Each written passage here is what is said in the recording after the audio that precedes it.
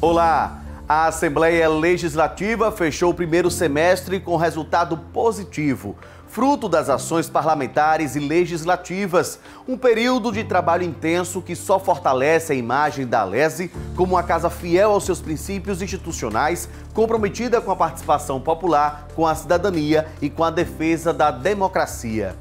Nesse primeiro semestre foram realizadas 178 sessões, entre as quais 62 ordinárias, 93 extraordinárias e 21 especiais. Tramitaram na Alese centenas de proposituras nesse período, muitas já aprovadas. Projetos de lei 74 aprovados, projetos de resolução 34 aprovados, indicações 337, moções 73 aprovadas.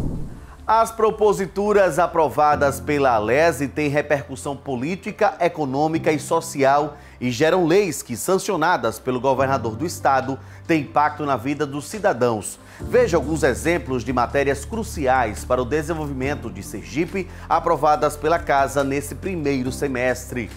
Redução da alíquota do ICMS, criação da Agência Sergipe de Desenvolvimento criação do Programa de Parcerias Estratégicas PPE, autorização para o governo pegar empréstimo no valor de 300 milhões de reais para a construção da ponte entre os bairros Inácio Barbosa e Coroa do Meio, em Aracaju. Criação do Prato do Povo, programa do governo estadual que leva a refeição diária de graça para pessoas que vivem na pobreza em 21 municípios sergipanos. De autoria dos deputados, vários foram aprovados ou estão em tramitação. Destaque para o uso terapêutico e veterinário da planta cannabis do deputado Luciano Pimentel, a prevenção ao abandono e à evasão escolar do deputado Cristiano Cavalcante, ranking das empresas mais reclamadas no PROCON do deputado Geórgio Passos, os direitos das pessoas com autismo das deputadas Lidiane Lucena e Carminha Paiva.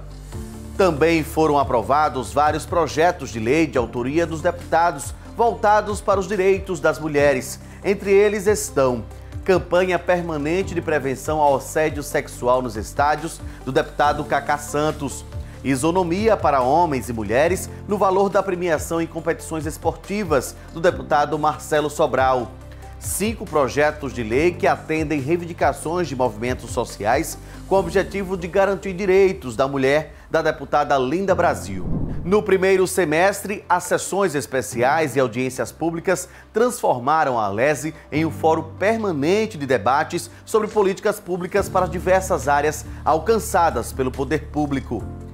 Especialistas, gestores, representantes do setor público, da iniciativa privada e de organizações não governamentais estiveram na Alese para discutir assuntos que vão dos direitos da juventude à intolerância religiosa, dos 55 anos da Universidade Federal de Sergipe ao centenário de nascimento da historiadora Tetis Nunes, do orgulho LGBTQIA+, aos rumos da pesca artesanal em Sergipe. E dos 50 anos da Embrapa às mudanças climáticas.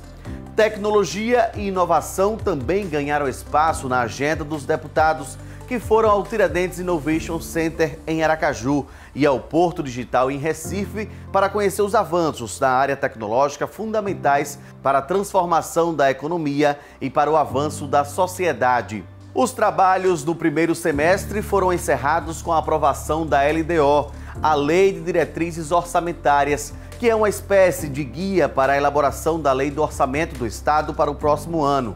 Pela LDO, a receita líquida está estimada em mais de 13 bilhões de reais.